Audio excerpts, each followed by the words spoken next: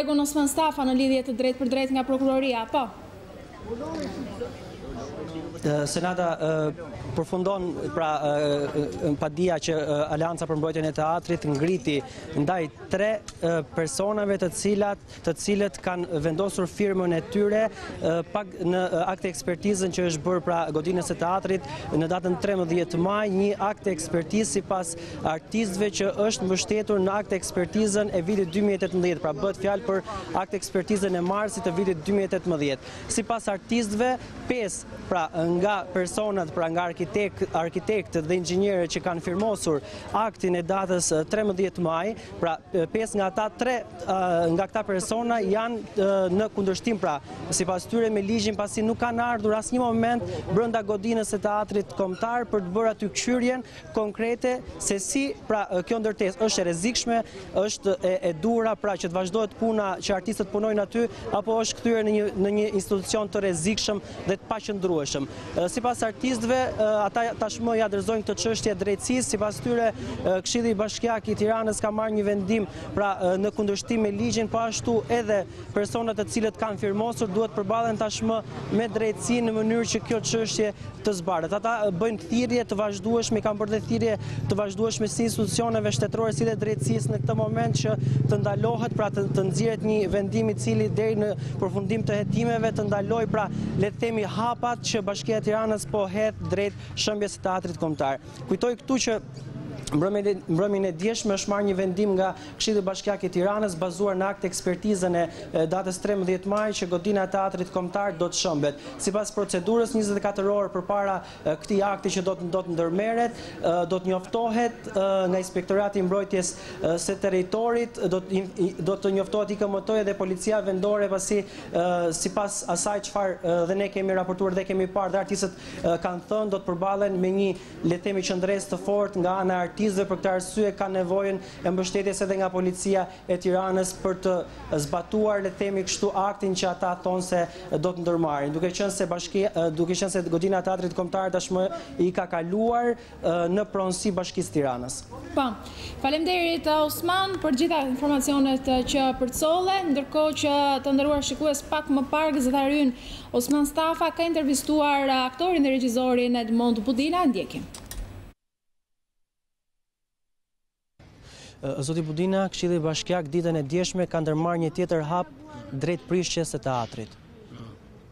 Një akt i cili është firmosur nga Këshilli Bashkiak dhe pritet që të hënën të kalojë përfundimisht shembja e teatrit. Po, është një tjetër akt, një tjetër gjest prej njerëzish të pabesë, domethënë njerëzish të paligjshëm, sepse në fund të fundit ata janë zgjedhur në, në votim edhe për këtë janë krejtësisht të paligjshëm, por veç kësaj, domethënë fakti që ai e shpall që mbledhjen e Këshillit Bashkiak do ta kishte sot dhe merr vendimin një ditë përpara pa mbledhur Këshillin Bashkiak, këtu është evidente që diçka është nuk shkon, domethënë kanë diçka për të fshehur. Kur ke diçka për të fshehur, domethënë që ka një korrupsion, që ka një aferë të pisët, që ka një çdo lloj gjëje të firmosin të vendosin në mënyrë të tillë, se gjërat bëhen në dritën e diellit dhe mbi të gjitha ky nxitim i jashtëzakonshëm i tyre për për ta shkatërruar teatrin kombëtar, në një kohë që nuk kanë as projekt për për teatrin e ri, as një buxhet se si do të jetë, se si do të bëhet, se si do të shkojë. Domethënë një prish, prish, prish, prish, sepse duke prishur ata pastaj çdo gjë e kanë në dorë. Në momentin që këtu është prishur ai nuk pyet fare sepse e kemi parë dhe në raste të tjera që kur ka marrë truallin ai ka ndërtuar kulla dhe ka gënjyer ditën për diell, domethënë gënjeshtrat e tyre nuk kanë anë e fund, që të jem realist. Edhe të fundit e ka bërë edhe me mua personalisht, kur më shpif dhe thotë që jam antar i Këshillit Drejtues së Partisë Demokratike që unë s'jam fare antar i Partisë Demokratike dhe i asnjë partie këtu në Shqipëri. Kështu që shpifje të këtij lloji ata i kanë në moto. Edhe për mua është është e turpshme domethënë që një kryetar bashkie që pretendon se po zhvillon qytetin, të sillet në në këtë mënyrë. Tregon që diçka kanë për të fshehur, domethënë janë aferat e tyre të të pista të të, të shëmtuara. E kemi thënë disa herë, përsërisim 100 milion herë dhe që t'i nguliten mirë në tru, paratë për ristrukturimin e teatrit janë nga Europa dhe paratë e shqiptarëve le t'i shfrytëzojë për të ndërtuar një teatër të ri dhe kjo është py, domethënë gjëja më banale në botë. Domethënë ata nuk duan t'ia dinë për për teatrin, ata shohin vetëm interesat e tyre. Dhe këtë e shprehu qartë kryeministri kur thotë që kam 22 vjet që luftoj, domethënë ka luftuar për, për ta marrë këtë truall. Dhe ishte po ai kryeministër që e ka bërë teatrin bingo, ishte po ai që bëri që dha lejen për ta bërë klub nate, për ta bërë teatrin e Rubairave, që donte ta shkatërronte. Domethënë, synimi i tij nuk ka qenë asnjëherë arti shqiptar, por përkundrazi ka qenë shkatërrimi i artit shqiptar.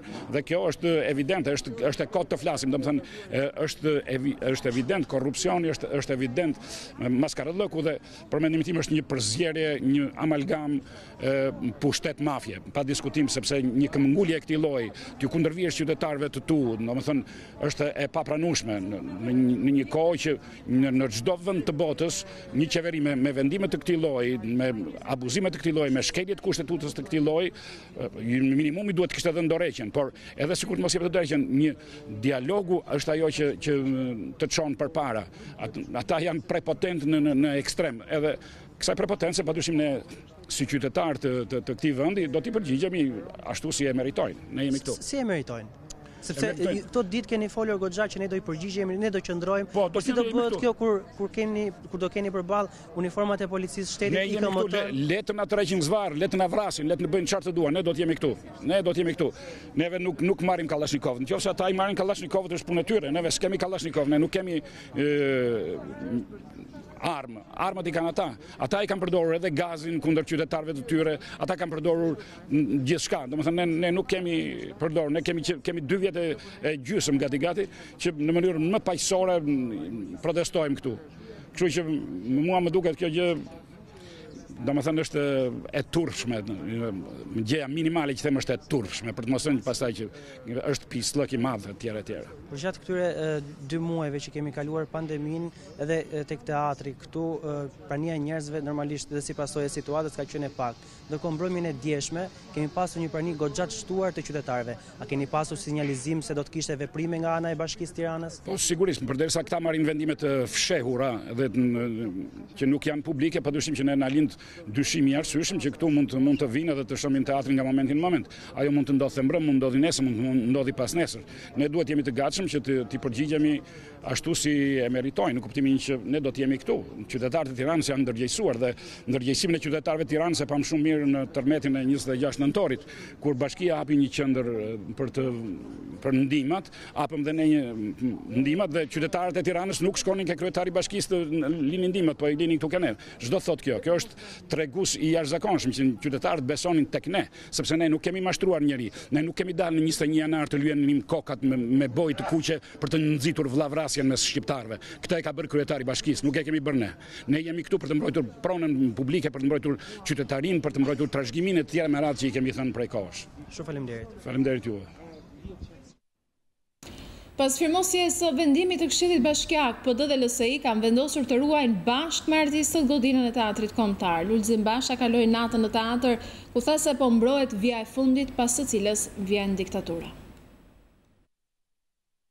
Për sa kohë të jetë ky njeri në krye të punëve, batërdia do të vazhdojë, vjedhja do të vazhdojë, paligjshmëria do të vazhdojë. E gjitha kjo që shikoni, e gjithë kjo batërdi, e gjithë kjo vjedhje, e gjithë kjo dhunë, e gjithë kjo grabitje, zhvatje e parave tuaja, e parave të taksave të shqiptarëve, e pronave të shqiptarëve, ka një dhe vetëm një emër, Edi Rama.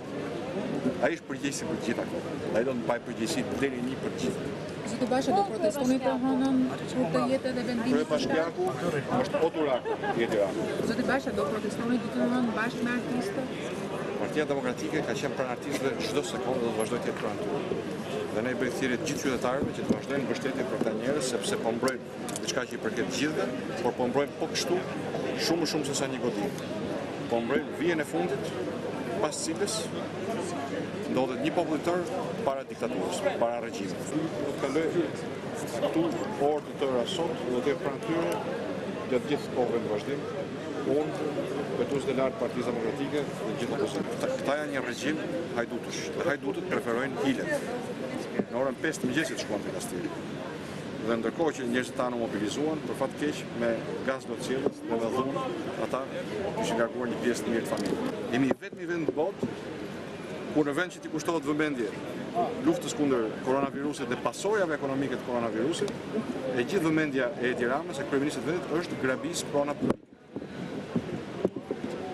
Dhe e gjitha kjo nuk është e papritur për asnjërin prej nesh, as për ju.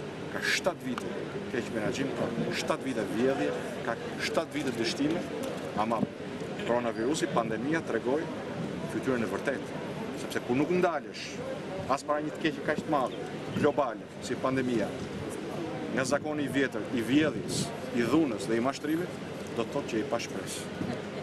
Dhe edhe për shqiptarët, Shumë e qartë mendoj sot, se ka një dhe vetëm një rrugë që të ndalet kjo vuajtje, të ndalet kjo dhimbje, të ndalet kjo batërdi, të ndalet kjo krizë ekonomike, është të largojmë shkaktarin një orë më parë. Unë jam këtu për të treguar solidaritetin tim personal të opozitës dhe për t'i kërkuar gjithë qytetarëve të jemi solidarë për të mbrojtur një vijë të kuqe të demokracisë.